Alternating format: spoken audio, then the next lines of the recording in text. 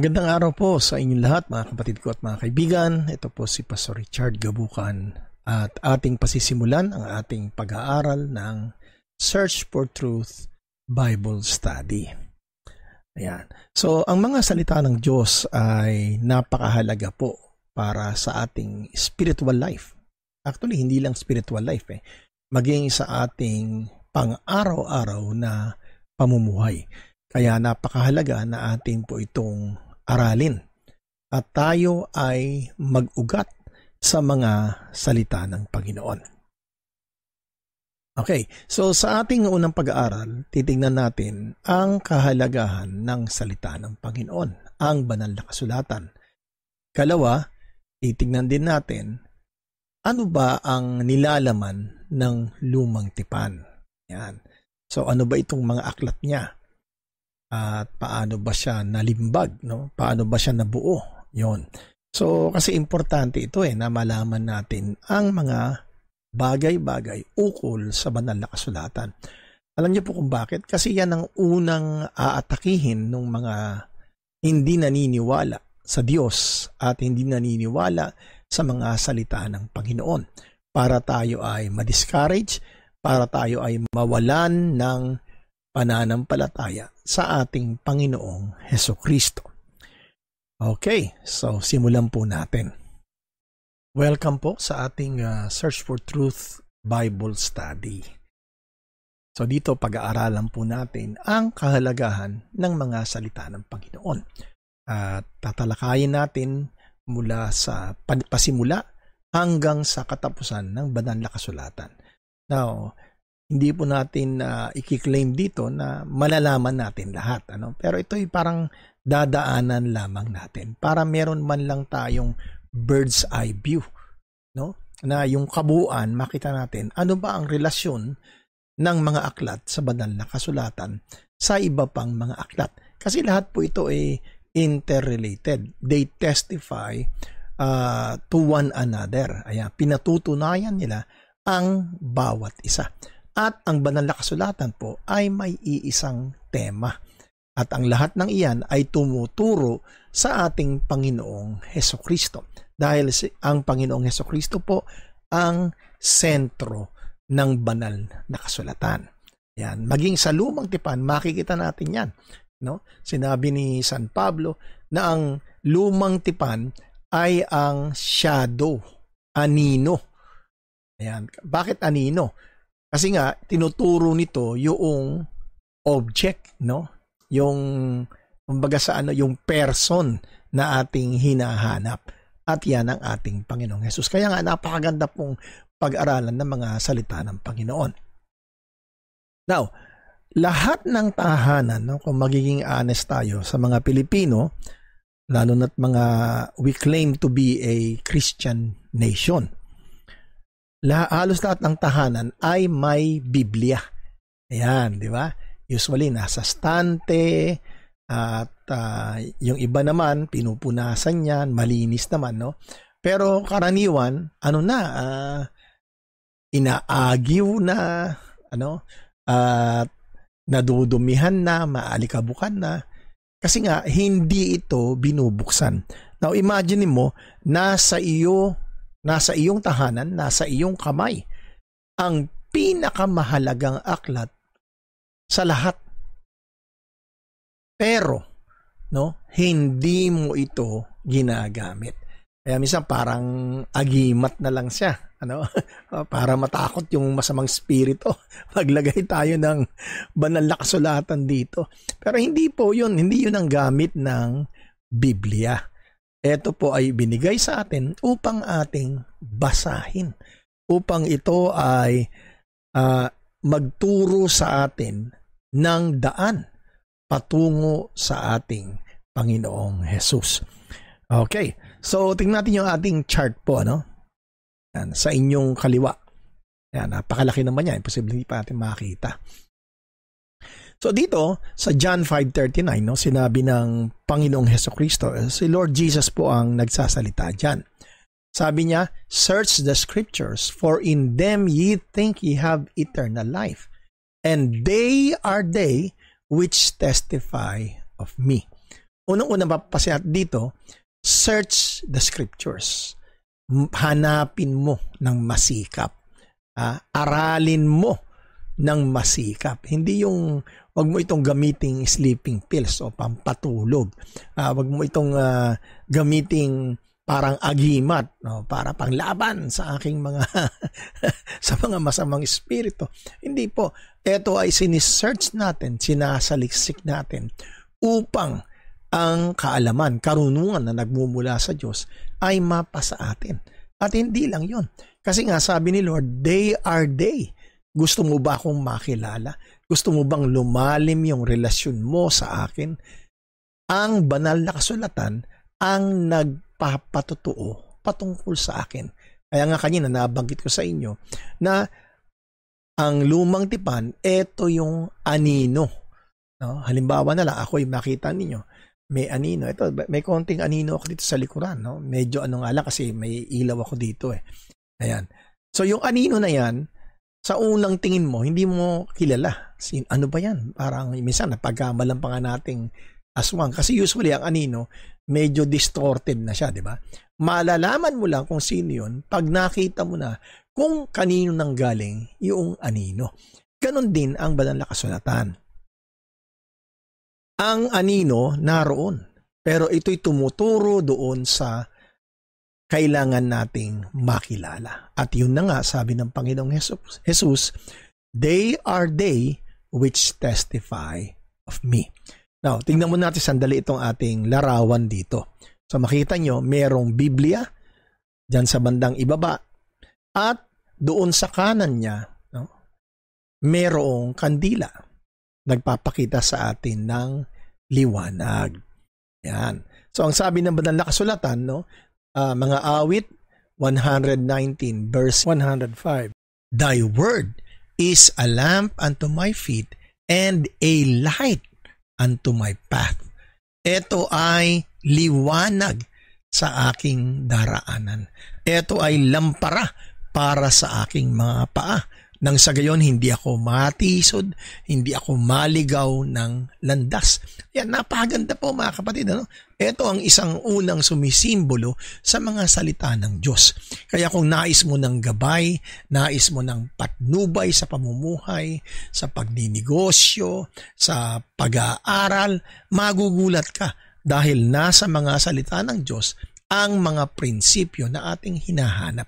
At higit sa lahat at pinakaimportante, paano ba akong magkakaroon ng kaligtasan?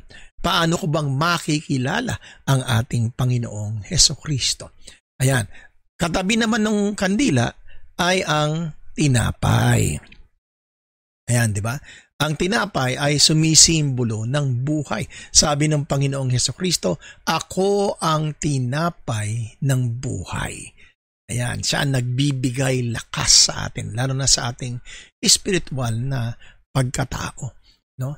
Nagiging stronger Christian tayo. Ah, mas uh, maayos yung ating pamumuhay, sumisigla po tayo. Yan ang ginagawa ng salita ng Diyos. Sa panahon kasi ng Panginoong Hesus, ang kanilang staple food o yung main dish nila ay ang tinapay. Yan. Kung sa Pilipino yan, pwede nating sabihin na ah, kanin. Ayan. Ang tao hindi lamang nabubuhay sa kanin, kung hindi sa bawat salita na namumutawi sa bibig ng Diyos. Ayan, yan po ay nasa Mateo 4.4. 4. Uh, sinabi ng Panginoong Yesus yan doon sa Diablo, sa demonyo, nung siya'y tinuksong kumain, nung siya'y nag-aayuno. Okay. At ang ikatlo, makikita natin dito, ay yung gatas. Sabi ni, sabi ni San Pedro, ano, desire, pakanaisin ninyo ang gatas ng mga salita ng Panginoon. So desire the sincere milk of the Word of God. Lalo na kapag tayo ay bagong panganak sa kaharian ng Diyos. We have just been born again. If you want to grow, if you want to become a strong Christian, you must desire. Pag sinabing desire, kagaya ng baby. Di ba? Kapag siya'y gutom, nako, iiyak yan. ha? at maghahanap ng gatas. Dahil yun yung kanyang pagkain, yun yung kanyang nourishment. Nagbibigay kalakasan, nagbibigay ng tiba. Hindi lang po yun. Dahil proven fact, di ba? Kaya nga pinupush ng mga government eh, breast milk for babies. Kasi nga, yung immune system, system ng nanay ay naa-absorb ng bata through the milk. Ayan, kaya stronger yung bata, uh, mas ano siya, mas matalino, mas uh, malakas, maliksi dahil nga nabibigyan siya ng nourishment. The same way sa atin din. Kung gusto nating maging malakas, yung ating immune system laban sa mga kasalanan, na kailangan nating tumibay sa ating pag-aaral ng mga salita ng Diyos. Praise the Lord. Okay, so tignan po natin ang ilang mga talata na importante o nagpapakita kung bakit importante ang pag-aaral ng mga salita ng Panginoon. So, ihanda ninyo yung inyong mga papel no? at saka notebook. So, para mag-take down notes kayo. Ang pag-take down notes po ay nakakatulong yan para ma-retain natin yung ating pinag-aralan. So, balikan na lang ninyo no, yung gabay para sa pag-aaral. Yan. So, yung pong utang, una natin, ano, ang part 1 para makita ninyo ano ang dapat ninyong gawin bago kayo mag-start nitong ating pag-aaral. So, okay. So, number one, sa Mateo 4.4, sinabi ng Panginoong Jesus na man shall not live by bread alone, but by the word of God kung hindi sa salita lamang ng Panginoon. So ito ay nagsisilbing gabay sa atin para tayo ay makapamuhay, lumakas, tumibay, ha? at ating masunod ang kalooban ng Diyos sa ating mga buhay. Okay, dito naman sa Psalm 37 verse 31. The law of his God is in his heart, and his steps shall not be supplanted. So makikita nito, mahalaga ang salita ng Diyos.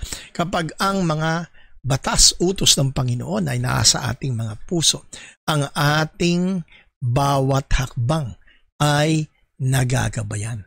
Kaya hindi tayo matitisod. Ibig sabihin yan, malakas tayo, strong tayo, firm tayo mga kapatid ko at mga kaibigan sa Panginoon. Now ano pa? Unang Juan 4.1.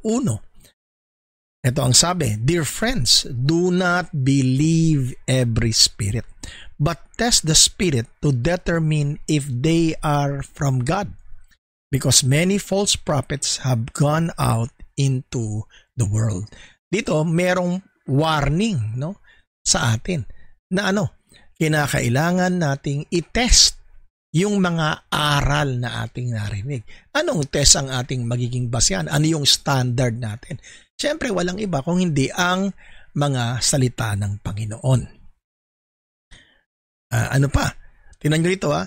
Uh, Proverbs chapter 2 verses 6 to 7. For the Lord gives wisdom. From His mouth come knowledge and understanding. He holds success in store for the upright. He is a shield to those whose walk is blameless. Oh, napakaganda ng talatang ito. Ang Panginoon ang nagbibigay ng karunungan.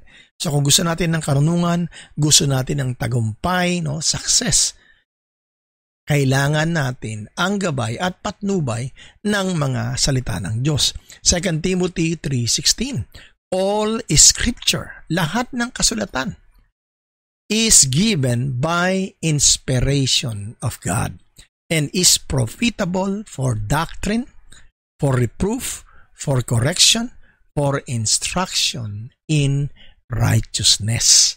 Kaya ito raw pala ay kapaki-pakinabang. Saan? Sa aral o doktrina. Ano pa? For reproof. Ayan, para tayo ayusin.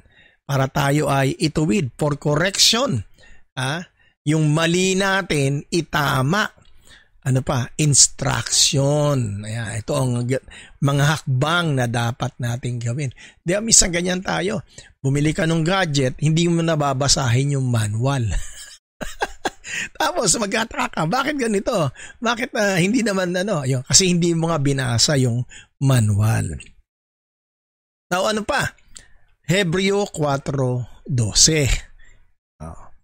For the word of God is quick and powerful and sharper than any two-edged sword, piercing even to the dividing asunder of soul and spirit, and of the joints and marrow, in and is a discerner of the thoughts and intents of the heart.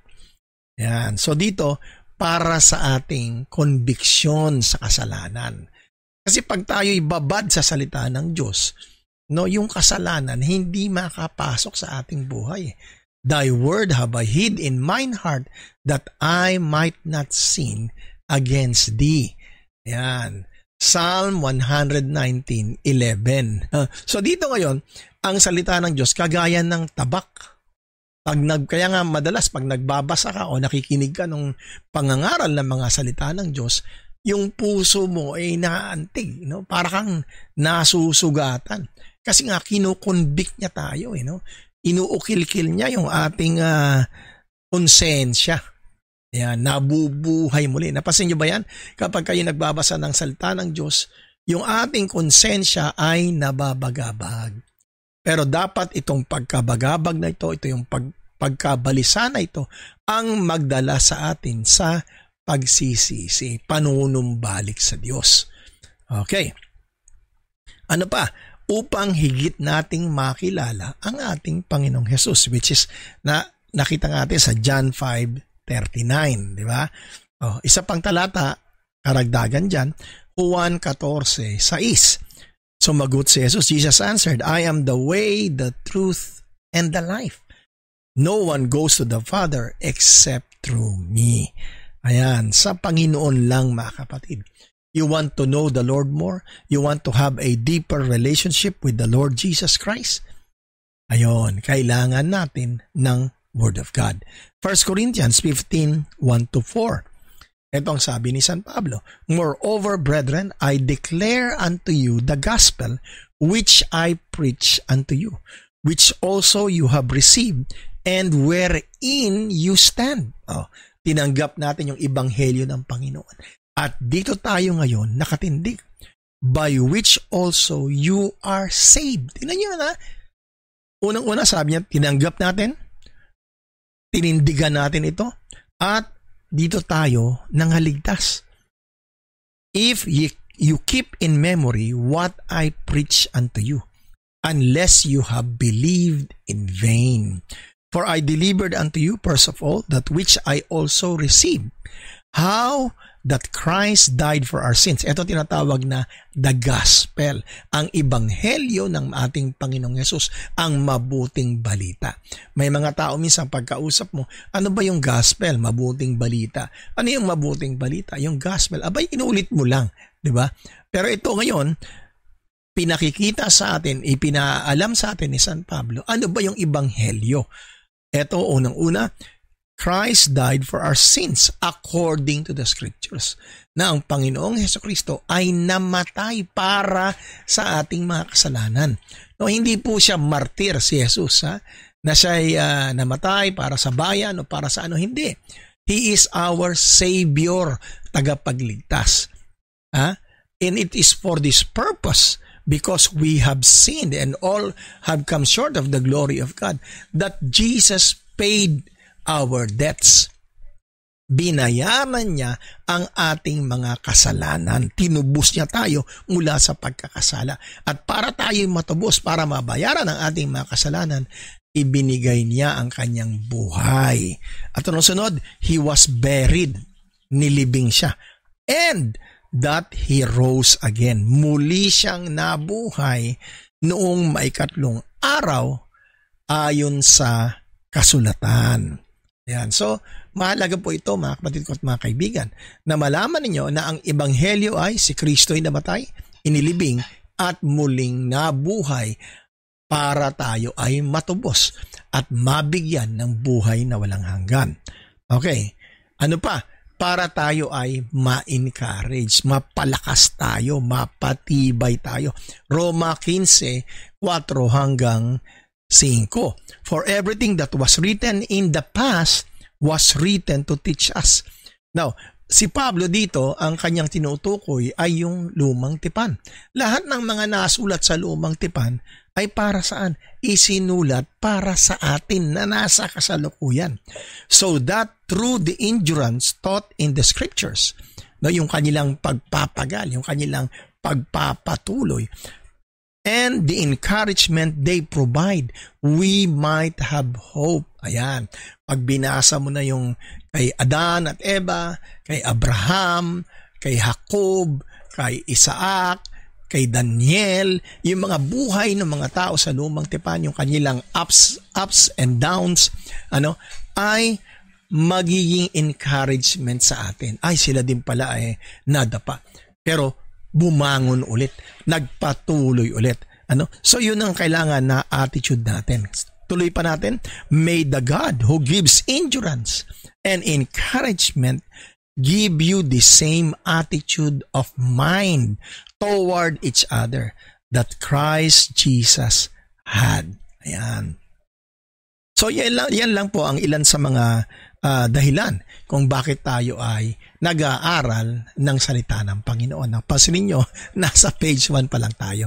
Pero ayoko nang pahabain ito masyado para sa next nating pag-aaral ay mas malalim pa ang ating aaralin.